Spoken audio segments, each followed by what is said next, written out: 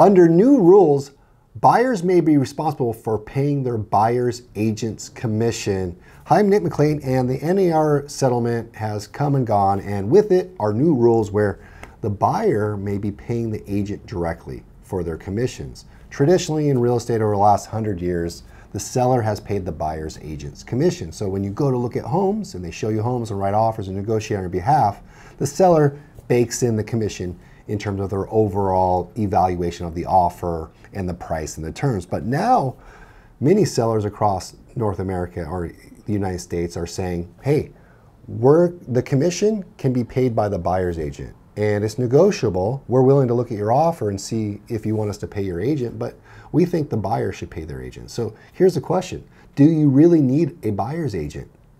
Because that's the question you're going to ask yourself. If I'm going to pay that buyer's agent money, a commission for their services, what type of services are they going to provide me? What kind of value is, is there? And do I really need them? Can I do it on my own? And so I'm going to attempt to argue that you don't need a real estate agent. I'm also going to argue that you do need a real estate agent. And a lot of it comes down to the agent you choose. It's probably the single most important question you have to ask yourself is the agent you choose. I think really what's going to change is buyers aren't going to hire their friends and family, nephew, cousin, and brother and sister. They're going to actually interview agents for the job of representing them. See, traditionally in real estate, you've always gone with the real estate agent that you know, like, and trust, and it's usually someone you know, but it has nothing to do with their expertise or their merit or their ability to negotiate or find you great deals. It's just been in a means to an end. And so I think the means to the end is completely gone. I think it's now, what are you going to do for me? And if there is a commission, how are you going to kick me back some of that commission you're going to make? Because frankly, sometimes agents are overpaid, sometimes they're underpaid more often than not, they're overpaid because they didn't really earn that commission. So here's the thing do you need a real estate agent? What would it be like if you didn't have one? So let's say you set off on your course. You can actually go to my website, Nick McLean Real Estate, and search for homes online. You can also go to other websites like Zillow, Trulia, or Realtor.com and see all of the active inventory. So if I'm going to do it on my own, I'm going to search on my own. So if I have a full-time job, I'm going to have to find time in between my job to search because the best deals sell the quickest. So for me to get the best deal on the market, I'm going to have to be quick. I'm going to have to be checking the marketplace constantly, day after day, moment after moment. And maybe I love doing that. Just like, should you pick your own stocks? Well, yeah, maybe you should be your own financial advisor and not hire someone to do it for you but you're willing to check the market every day. You know, you're going to wake up at 5 a.m. And, and, just, you know, when Wall Street opens, the stock market opens and closes, you're checking everything, you're tracking everything, you're reading annual reports, you're doing your own research on the marketplace, right? If that's you, if you're analytical and you like doing that stuff, go for it. 100% represent yourself. Understand the marketplace. What's inventory like? What are the trends? Why are people moving? Where they're moving out? What are the zoning? What are the requirements? You can totally understand the marketplace. And if you're into that, totally do it. Now, say you go to the website, you're looking for homes. You want to look at a home. Okay, how are you going to get inside that home? You're doing it on your own. How are you going to get inside that home? Well, here's what you got to do. You got to call the listing agent. You got to figure out every single, every time you want to look at a home, you got to go to that listing agent and you got to ask them for access. You're basically becoming your real, own real estate agent. So you got to schedule a showing. You got to coordinate your efforts. You got to give notice to the tenant. Maybe it's 24 hours, 48 hours, right? And every single home, you got to talk to another agent. Normally, what a real estate agent does is you tell them, here's a list of homes I want to see. You go and schedule everything. And they'll spend two, three, four hours just coordinating efforts and then before you show up at the home, they're going to do research on that home. So when you show up, they have a flyer for you. They've looked at the disclosures, they looked at the map, they looked at the history of the home. So when you show up and you have questions, that agent can answer those questions for you. But now, since you represent yourself and you're working on your own, what you got to do, this is what you got to do. You call that listing agent. Okay. Now, when you talk to that listing agent, you schedule a showing. Once you're done with that showing, here's what I want you to do go to the assessor records, do your due diligence Research the chain of title, everyone that's ever owned that property. Try to figure out how much they owe on the home. Try to figure out what disclosures or building permits or maybe any code enforcement violations they may or may not have on the property, right? Look up the easements and the CC&Rs. So do your due diligence so when you show up and you have a question, you can answer it yourself. So that's what it's like to be your own real estate agent. And if you can do that, right, if you can do that, you can save a little bit of money on commission. Now let's say you look at a home and you love that home. You want to make an offer on that home. Now, since you don't have a real estate agent, you can do it yourself.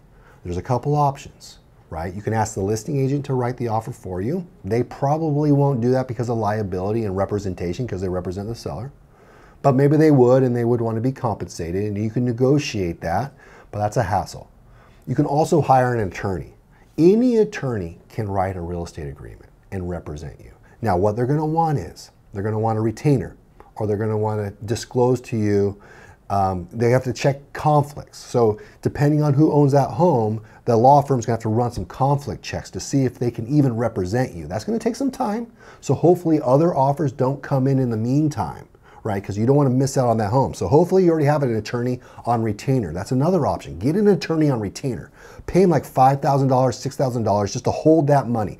Be ready when I find a home, Mr. and Mrs. or Mr. or Miss attorney, because I want you to write that offer. Now, an attorney can write this offer.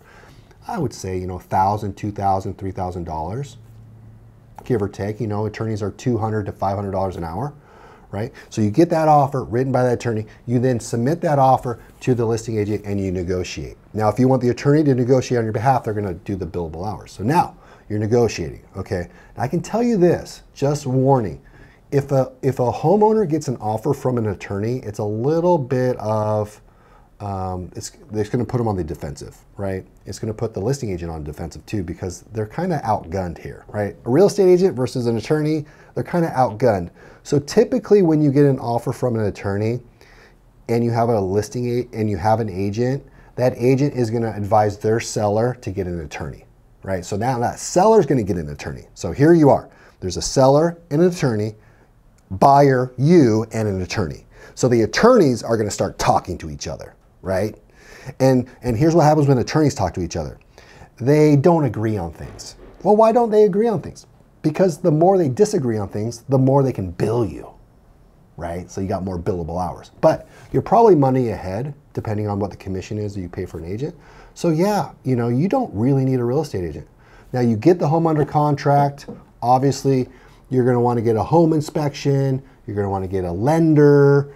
And so have all those things lined up too. So I think all in all, the industry has changed. You know, I think, you know, with the new rules, buyers are going to have to make a decision. Do I want to do this on my own? And can I do it better than the very best agent I can hire on the open marketplace? Or do I want to go to the open marketplace and see what agents are out there and what they can offer? Can they do what I just said better and more efficiently and get me a better deal and do better, do more research and provide a service, a done for you service? The days of agents opening doors and letting you in are over. That's not worth it at all. I wouldn't pay for it. No way. I wouldn't pay for that at all, right? I'll do it myself. But there are some agents you might want to explore what they have to offer. I think the industry overall is going to have to up their game.